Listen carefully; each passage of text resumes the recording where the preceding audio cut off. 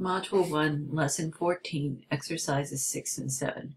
Now we have two reasonably complicated equations that we're going to solve through two different ways. One without ever using a negative, and then one by multiplying through by a half first. Let's see what it looks like. We'll look at the second one in a minute.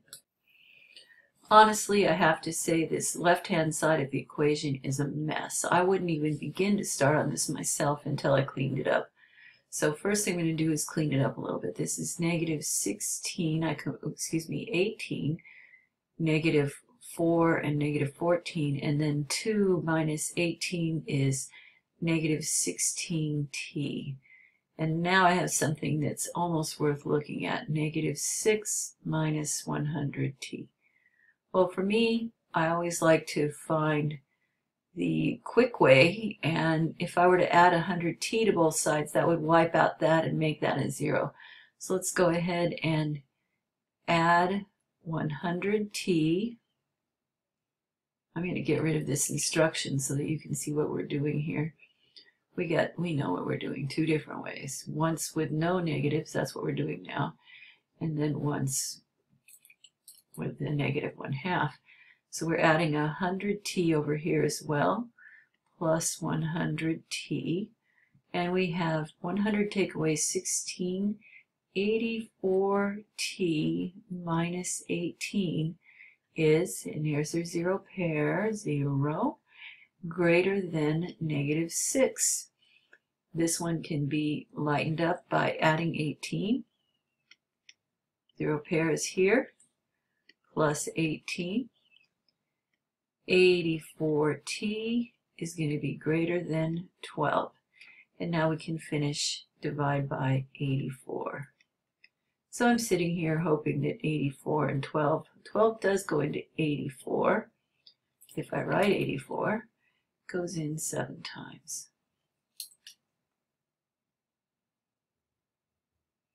So t is greater than um, 1 over 7. So what we're hoping is when we do this problem a second time that we're going to get the same answer. So let's go ahead and we'll take this guy here and let's start with our original cleaned up equation which was this one in purple, this guy. So, and it said this time we get to multiply by negative 1 half first.